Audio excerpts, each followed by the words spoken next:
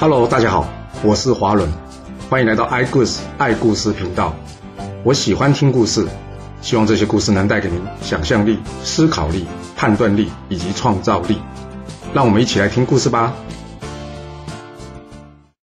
上次我们说到呢，由于楚军七国联军战败啊，所以呢，楚平王吓得呢，赶紧请求这勇猛的南瓦成为令尹啊。这南瓦一上任之后呢，他跟楚平王建议啊，大王，我们郢都太小了。应该要建一座更大城池，这样比较容易防守啊。所以呢，他在附近呢重新新建了一座城池，仍然叫做郢都，而将原先的郢都呢改称为什么济南城啊。另外呢，再新建一座麦城，这样三座城池呢就像一个品质一样，彼此可以互相协助攻守。大家都觉得，嗯，南瓦这想法非常的好。只有这沈尹戌认为啊，这国家靠的是管理制度以及大王的贤明啊，去搞这三座城池干嘛？要是吴国真的要来，你十座城池也挡不住啊！这南瓦除了新建城池呢，并且怎么样，开始训练楚国水军啊。几个月之后呢，他率领楚国水军大军压境，想说吓吓这吴国。那吴国有在怕吗？吴国根本没在怕，他们马上派出了公子光前往应战。不过等到公子光到的时候呢，南瓦已经班师回国了。不久之后。这楚国的钟离城呢，与吴国边界的呢，因为养蚕需要这桑叶啊，结果因为抢这桑叶啊，发生了争执。这吴楚呢，再度交战。这一战，公子光率领着吴军啊，再度获得胜利，并且攻下楚国钟离城，造成楚国的震动啊。这楚平王啊，还因此吓出病来了嘞。经过这两场大战，伍子胥向吴王僚建议啊，这楚国呢，根本就是个空壳子，吴国可以出兵攻打楚国，一举灭了他。吴王僚一听，嗯，有道理。这楚国呢，随便打随便赢呢。好，我曾经答应过你要帮你报仇，我会找人好好讨论此事的。之后，吴王僚找这公子光来讨论攻打楚国一事。吴王僚跟公子光说：“我打算出兵攻打这楚国。”公子光一听到吴王僚这么说，他说：“大王啊，这应该是伍子胥建议这么做的吧？”吴王僚说：“哎，你很厉害哦，没错，就是他建议我们出兵攻打楚国的。”有这楚国的前大臣来做引导，看来这楚国可是指日可破了。公子光摇摇头说：“我看这伍子胥呢，相貌堂堂，谈论起国事也是头头是道。虽然说他是个人才，但我听说他是为了报仇才到我吴国来的，不是吗？”吴王僚说：“对呀，哎，我跟你说，他爸跟他哥死的有够惨的。别说这楚国是我们的敌国啊，就算是我们的盟国啊，你听到他悲惨遭遇啊，你也会想要帮他出兵报仇的。”公子光接着问了：“所以大王？”你已经答应他要出兵报仇了吗？吴王僚说：“对啊，啊怎么了？有什么问题吗？”公子光说：“大王，这伍子胥报仇是私人恩怨呢。你仔细想一想啊，这么多年来，我们跟楚国交战多少次？我们真的有占到便宜的有多少次啊？你答应伍子胥要出兵，就算是我们出兵赢了，那不过是帮他报了私怨。那要是不小心输了呢？那这脸不就丢大了吗？你真的要拿吴国百姓的生命去帮他哦？”吴王僚一听。哎，你这么说好像也有点道理。毕竟这楚国又不是豆腐做的，怎么可能一打就烂呢？要是真的打不下来，阿不就真的成为天下的笑柄了？呃，这个找楚国报仇的事，我看还是得从长计议后。后来伍子胥听到了公子光去嚼舌根的事，他知道这吴王僚应该是不会帮他报仇的，索性他也不让吴王僚难做人，他自己呢辞掉这个大夫的职位。而公子光在听到伍子胥辞掉大夫的工作之后呢，他再加把劲跟吴王僚说：“大王，我看这伍子胥呢，恐怕是在埋怨你出尔反尔吧？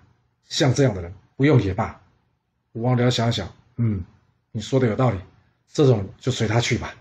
哎，不对不对不对，嗯，哪里不对啊？这吴王僚说了，怎么说伍子胥也小有名气啊？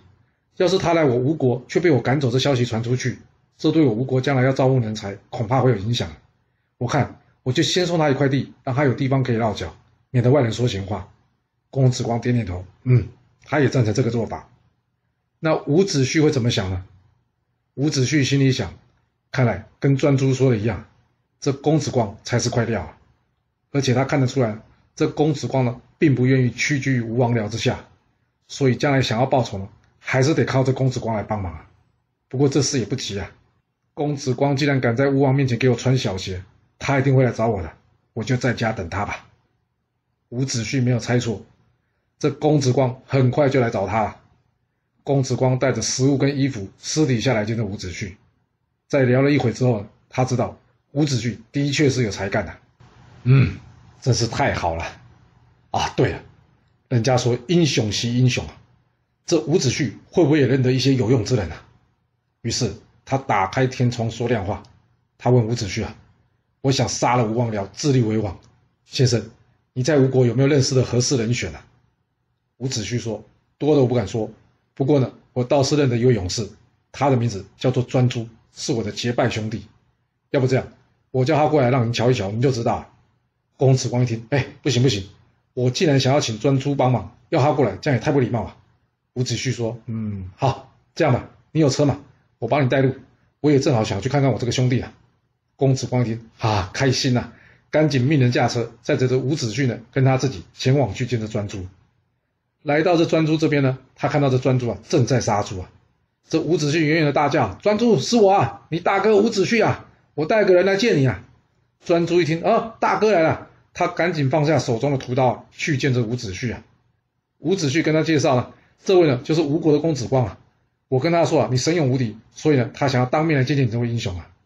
专诸一听，哎呀，我只是个村夫野人，怎么好意思要公子光临亲自大驾光临呢？哎呀，真是抱歉呐。这公子光在一番寒暄之后呢，找了个地方与伍子胥跟专诸坐了下来。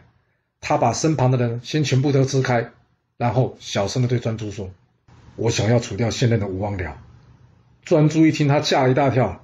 哎，这吴王僚的王位是继承他爸爸的，可以说是名正言顺的，加上又是你的亲戚，你为什么要对他下毒手啊？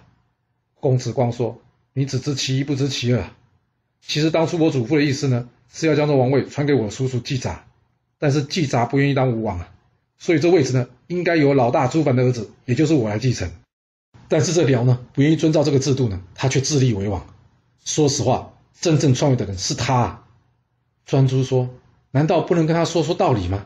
一定得痛下杀手吗？”公子光接着说：“要是道理可以讲，谁会想动手杀自家亲人呢？就是道理没有办法跟他说啊。辽这个人啊，贪心又心狠手辣。”我怕的是，这道理还没说完，我就已经被他给下毒手了。专诸听完点点头说：“嗯，也是啊，这种事应该不用人家跟他说也会知道的。既然他已经决定要抢这个王位，他就一定不会听别人说的。”接着，专诸告诉公子光说：“不过杀吴王僚这件事，目前我帮不上你啊，因为我家中还有一位老母亲需要我去奉养，我这一去凶多吉少，我母亲就没人可以照顾了。”公子光说：“我知道你非常孝顺，但这件事没有你办不成的。”这样吧，我答应你，要是能成功，我会对待你的母亲像对待自己的母亲一样，这样你就不用担心没有人替你尽孝道了。专诸听完之后，陷入长长的苦思，最后他决定了，决定帮助这公子光除掉这不讲义气、硬抢位置的吴王僚啊。专诸告诉公子光说，刺杀吴王僚这件事，若想要一举成功，一定事先要有精密的计划跟布局啊。想要杀吴王僚，就必须接近他。那想要接近他的，就必须投其所好。我问你哦，这吴王僚有没有什么特别的喜好啊？公子光想了想，有，他爱美食。专诸再接着问，哪一种美食？公子光回答道：烤鱼。这吴王僚最喜欢吃的就是烤鱼。啊专诸点了点头之后说：好，那我先离开了。这公子光被这突如其来举动吓一跳，他问专诸：哎哎，你要去哪？专诸说：我先去学烤鱼啊，学成之后我会去找你的。三个月之后。专诸学成这烤鱼，他与伍子胥一同前来找这公子光啊。公子光看到他们两个非常开心，不过还有个问题啊，那就是要怎么动手，还有什么时候动手啊？他问伍子胥这件事，你有没有什么想法？伍子胥回答公子光说：“这红狐之所以难抓，就是因为它有翅膀。”先打个岔，什么是红狐啊？这红啊就是大燕子，狐啊就是天鹅，所以红狐叫什么？就是很大的鸟了。伍子胥说：“这红狐之所以难抓，就是因为它有翅膀。若是能先剪除它的羽翼，就是它的翅膀，那要抓这只红狐啊，并不是难事。那谁是吴王僚的羽翼呢？”伍子胥接着说啊：“这公子庆忌有万夫莫敌之勇，他每天都在这吴王僚的身边，加上这偃瑜跟烛庸手握兵权，这三人不除，你是很难以得手的。就算是侥幸成功，接下来也不一定能坐稳这王位。”公子光点点头说：“嗯，有道理。那你们先回去吧。等到有机会，我再派人去请你们过来，不然你们俩在这恐怕会引人注目，反而不好。”伍子胥与专诸点点头后，然后告辞离开了。不过伍子胥没有想到的是啊，他还没有等到公子光的通知啊，就先等到这楚平王过世的消息了。前面说过吧，楚国与吴国连战皆败之后，这楚平王就下刀生病了。这楚平王死之前呢，将这令尹南瓦及王子申找过来，他告诉他们两个，我要将这王位传给这王子整，以后你们好好的辅佐他，知道吗？说完，这楚平王闭上双眼。去见祖先了。那他们有听楚平王的话吗？听到我会这么问，就知道一定又有人在搞怪了。没错，这南瓦下去之后，认为这王子整的妈妈原先是太子建的老婆，加上这王子整年纪这么小，若是让他当上国君，这对楚国并不好啊。所以他打算，不要听楚平王意见。他跟底下大臣细婉说：“我看这王子生啊，也就是这子熙啊，比较适合接任这王位。”要不这样，你去探探子熙的口风，看看他怎么说啊？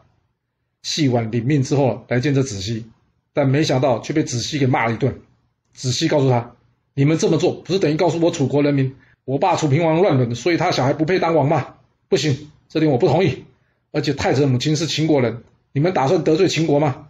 一句话，大王临终前怎么交代就怎么办，谁敢抗命我就杀谁。”南瓦在听到细婉转述的子熙的回复啊，他想：哦。这听起来不像是说说而已啊，他搞不好真的会动手杀人呢。哎，算算，有王位给他不要，是他自己不识抬举了，我们也不要淌这浑水好了。就这样，王子整即位，是为楚昭王。楚昭王上任之后呢，依旧让南瓦出任令尹的职位，并且重用他的老师费无忌与南瓦共同执政。哇，这楚平王一走了之啊，最伤心的人是谁呀？这最伤心的人竟然是这伍子胥耶！他自从听到楚平王的死讯之后啊，他难过了一整天。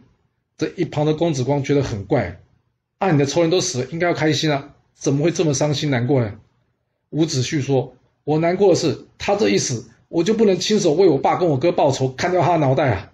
哦，真是人各有别厚，有的人在乎过程，有的人在乎结果。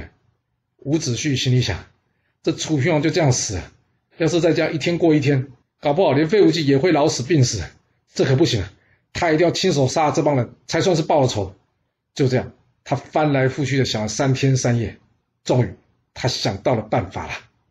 他跟公子光说：“公子，你想要行大事，有找到机会吗？”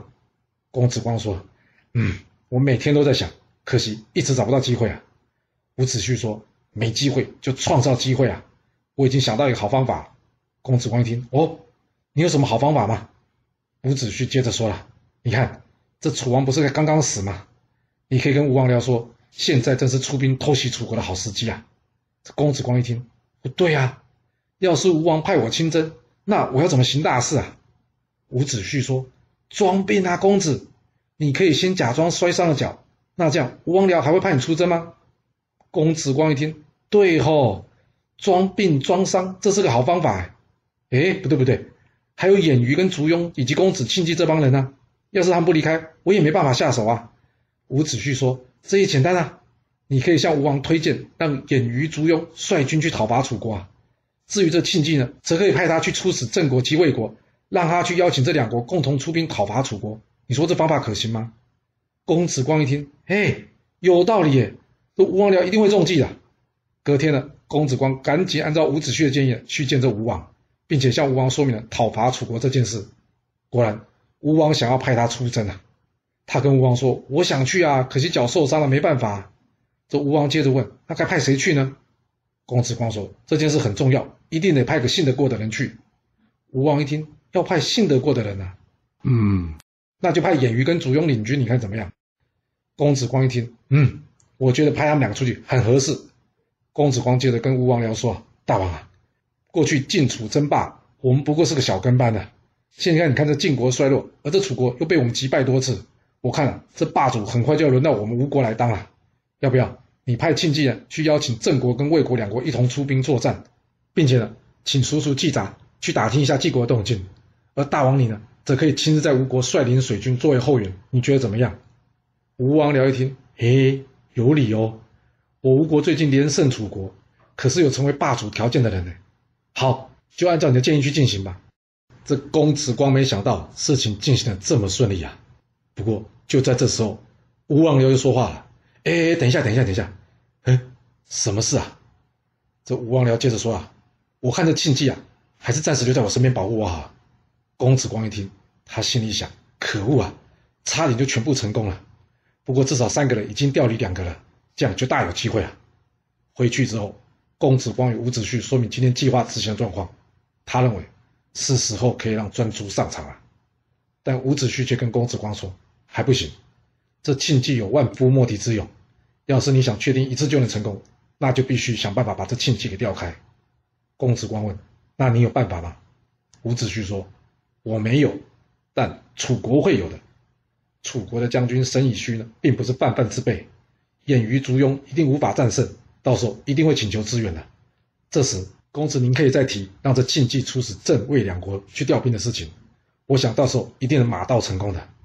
公子光点点头说：“好，就听你的，我们等。”果然，如伍子胥所料，偃于烛庸带领两万将士分水陆两军出发，他们呢去攻打这楚国潜这个地方，但战况不如预期，因为楚国潜翼的守将自知不敌，所以坚守不出，并且派人飞奔向新上任的楚昭王请求援助。这楚国君臣一听到什么吴国又大举进攻我楚国啊，这一时之间呢，把大家吓得慌乱的手脚啊。还好有这子西坐镇呢，他跟楚昭王说：“大王，吴国趁我们办丧事来偷袭我们，要是我们不出兵迎敌的话，他会把我们当做是软柿子，以后三天两头就来找我们楚国麻烦。所以啊，我建议我们出兵呢，迎战这吴国。”楚庄王一听迎战啊，那要派谁呢？子西跟他说：“大王，别担心嘛，我们可以先派沈以虚。”引陆军一万正面迎战楚军，另外派细管带领水军一万顺江而下，绕道到吴军后面。一旦断了吴军的后路，形成包夹，这吴军将会变成瓮中之鳖，抓到他们主将只是时间的问题了。楚昭王一听，啊，这样就行了，哇，那太好了，就按照你说的方法去进行吧。于是他命令着沈尹虚以及细管分水陆两军出发迎战吴国。而吴军这边呢，见到楚国援军过来。偃于烛庸，赶紧将军队一分为二，一半继续攻城，另外一半呢，则是对抗楚国援军啊。不过这沈尹虚并不笨啊，这细晚还没到啊，在没有形成对你吴军包夹之前，他才不会跟你吴军正面交锋嘞。他先是叫士兵呢筑起这围栏，然后怎么样，断了吴军取水跟取木材的道路。接着呢，他要做就是等，等细晚的水军前来，一起对着吴军展开包围啊。没多久，细晚的水军终于赶到了。这时，偃于及烛庸才发现惨，被包围啊，这可不行啊！所以两人赶紧派人回吴国，向吴王讨救兵啊。这吴王僚一听，不会吧？怎么战事会这么吃紧呢？啊，之前不都很顺利吗？这下该如何是好呢？一旁的公子光说：“大王，我之前建议让庆忌去联合郑魏两国军队共同出兵伐楚，就是考虑到可能会有今天这状况啊。不过没关系，现在去还不迟啊。我建议呢，赶紧派这庆忌去向这郑魏两国调兵，您看如何啊？”这时候的吴王僚已经急得如热锅上蚂蚁，还有办法好好思考吗？当然没办法。而且表面上听起来公子光的说法也的确有几分道理啊。所以最后他决定了，按照公子光的建议，派出庆忌出使，要先解决眼下偃于跟烛庸被楚军包围的问题啊。终于啊，所有的人都离开吴王僚了，公子光终于可以展开下一步的行动啊。他回去找这伍子胥呢，讨论下一步的行动。伍子胥问公子光。公子，听说你有把宝剑对吧？我想要为专诸准备这把锋利的宝剑。公子光说：“嗯，有的。之前越王允长啊，曾经找铸剑名将欧冶子制作了五把名剑，而其中有三把他送给我们吴国。第一把叫做战弩，第二把叫做圣邪，又有一种说法叫做盘引，第三把叫做鱼肠。而这鱼肠剑呢，其实是一把匕首。什么是匕首啊？匕首就是啊比较短的刀或是剑呐。这公子光接着说啊。”这把鱼肠剑呢，虽然短，但是却削铁如泥。我爸送给我之后，我一直很宝贝它，把它放在床头，以备不时之需啊。哎，不说这么多了，我拿过来给你看，你就知道了。伍子胥接过这鱼肠剑一看呢，并且稍微试了一下，他惊讶吓道：“哇，果然是把宝剑啊！”公子光说：“还不止这样呢，这把剑呢，这几天晚上竟然会自己发光。